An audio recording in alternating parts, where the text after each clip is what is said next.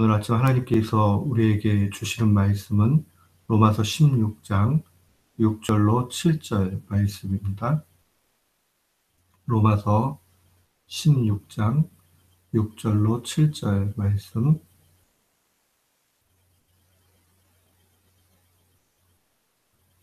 우리 6절부터 7절 말씀 같은 마음으로 주의 말씀 봉독토록 합니다. 너희를 위하여 많이 수고한 마리아에게 문안하라. 내 친척이요 나와 함께 갇혔던 안드로니고와 유니아에게 문안하라.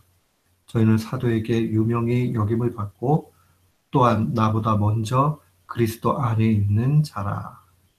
아멘.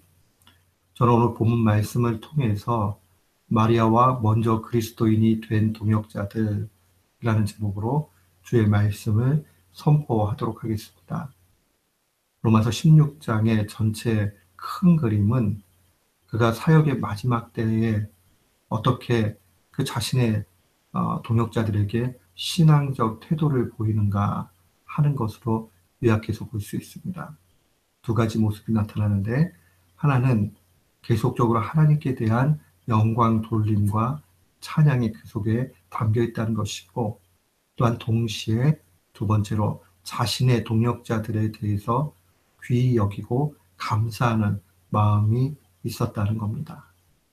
우리가 하나님의 복음을 위해서 살아갈 때에 주위에 있는 믿음의 형제 자매들에 대한 그러한 감사의 마음, 신앙적 태도가 분명히 필요하다 하는 것을 로마서 16장 말씀을 보면 깨닫게 됩니다.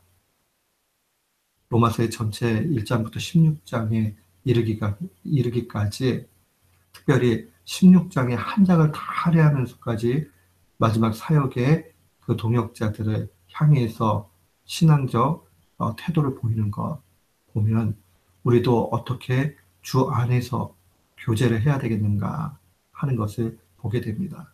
특별히 오늘 본문에는 세 사람이 등장을 합니다.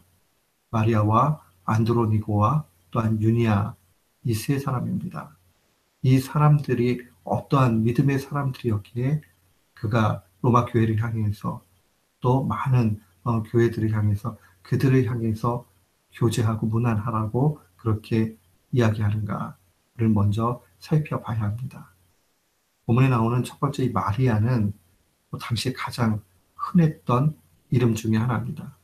그렇기 때문에 구체적으로 이 마리아가 누구를 지칭하고 있는 것인지 알 길은 없습니다. 그러나 하나 교 하나 정확하게 우리가 알 수 있는 것은 이 로마 교회 안에 아주 유명한 아, 그런 사람이었다는 사실은 분명합니다. 이를 소개할 때에 바울은 너희를 위하여 많이 수고한 자라 그렇게 이야기를 합니다. 너희를 위하여 많이 수고한 자. 마리아가 굉장한 수고를 했다는 이야기입니다. 근데 여기서 얘기하는 이 수고는 실제적으로 교회를 위해서 고통을 감수하고 불편함을 기쁨으로 여기고 또 자기의 물질이나 시간이나 모든 것을 이렇게 포기한 그런 의미를 가지고 있습니다. 마리아가 이 교회를 위해서 복음을 위해서 얼마나 많은 수고를 했는가 하는 것을 볼 수 있습니다. 동시에 이 7절에 나와 있는 바울의 친척이 되면서 함께 갇혔던 안드로니고와 유니아라는 사람이 등장을 합니다. 특별히 이 안드로니고와 유니아는 어, 형제들이라 이렇게 볼 수 있습니다. 이 형제들은 어, 사도들에게 유명히 여김을 받았다. 이 말은 사도들 사이에서 인정받았다라는 그런 의미를 가지고 있습니다. 안드로니고와 유니아라는 이 두 사람이 사도들 사이에서 인정을 받았을 뿐만 아니라 이들이 바울보다 먼저 복음을 믿고 있던 믿음의 형제들이었고 또한 특별히 바울과 함께 옥에 갇힌 그런 갇힘을 당한 사람이다라는 것을 보게 됩니다. 물론 바울과 같은 감옥에 갇힌 것으로 보기에는 어렵습니다. 그러나 복음을 위해서 바울이 옥에 갇힌 것 같이 이 형제들도 그렇게 옥에 갇혀지면서 바울의 고난에 함께 멍해를 했던 사람들입니다. 사랑하는 성도 여러분, 오늘 본문 말씀을 우리가 보면서 복음을 위해서 우리가 어떻게 살아가야 하겠는가 하는 것을 어, 구체적으로 보게 됩니다. 먼저 마리아의 모습을 통해서 우리가 결단하고 기억을 해야 되는 것은 복음을 위해서 실제적인 고난을 담당할 수 있어야 됩니다. 오늘날 미국 땅에서 우리가 믿음을 갖는다고 해서 당시와 같이 박해를 받는 일은 없습니다. 그러나 몸된 교회가 든든히 서 가기 위해서 우리의 시간과 받은 은사와 물질과 모든 것을 또 하나님 앞에 마땅히 드릴 줄 아는 그러한 신자들이 되어야 합니다. 하나님이 우리에게 주신 모든 것은 하나님께 돌려드려야 마땅한 것입니다. 우리가 우리의 시간도 우리의 받은 은사도 물질도 하나님이 하나님을 잘 섬기라 주신 것인지 알고 그렇게 나아가야 됩니다. 사랑하는 성도 여러분, 오늘서부터 우리의 마음에 이 결단이 있기를 원합니다. 우리에게 주어진 24시간의 시간, 이것을 위해서, 복음을 위해서 반드시 사용해야 됩니다. 우리 인생에 주어진 시간들 속에서 하나님의 것을 구별할 수 있어야 됩니다. 각자 하나님께서는 몸된 교회를 섬기고 또한 성도를 온전케 하기 위해서 은사를 주셨습니다.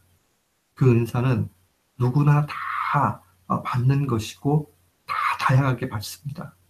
어떤 이들은 가르치는 은사로, 어떤 이들은 설교하는 은사로, 또 어떤 분들은 청소하는 은사로, 또 남을 위로하는 은사로, 또 묵묵히 일하는 은사로 여러 가지가 있을 수 있어요.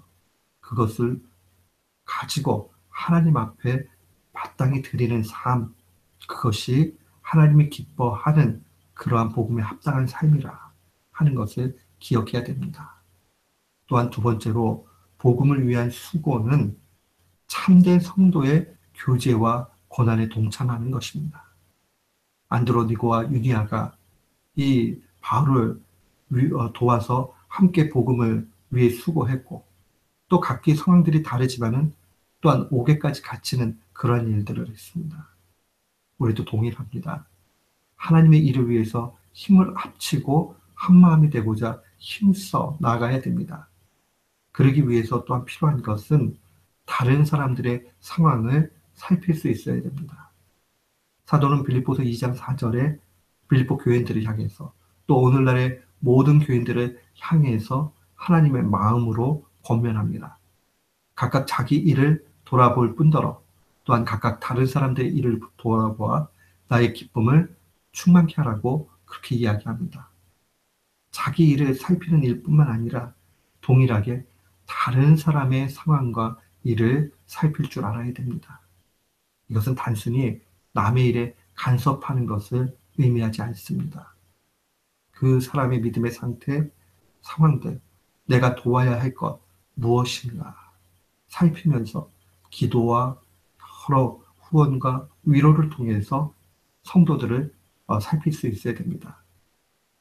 아름다운 교회, 건강한 교회에는 목회자 혼자 힘써 나아가는 것이 아니라 함께 동역하면서 성도들을 돌보면서 나가야 됩니다.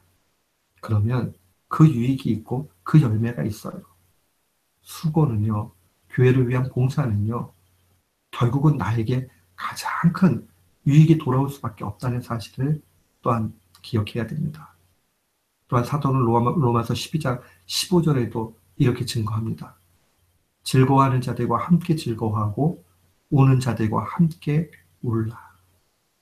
참 귀한 말씀입니다. 우리가 기쁜 일을 당한 성도들을 보면 함께 기뻐하고 또 슬픈 일을 당한 형제와 자매들이 있으면 그 형제와 자매들을 위해서 함께 울 수 있어야 됩니다. 오늘 이 사실을 우리의 마음속에 간직하기를 원합니다. 결단을 내리고 아 내가 하나님께 내가 받은 모든 것을 아낌없이 드리며 고난을 감당하겠다 하는 결단과 참된 성도 안에 성도들 사이에 교제가 일어나기를 위해서 다른 사람의 일을 돌봐야 되겠다 하는 이 두 가지 마음을 가지고 오늘도 주 안에서 승리하는 귀한 교우들 되시기를 주님의 이름으로 축원합니다.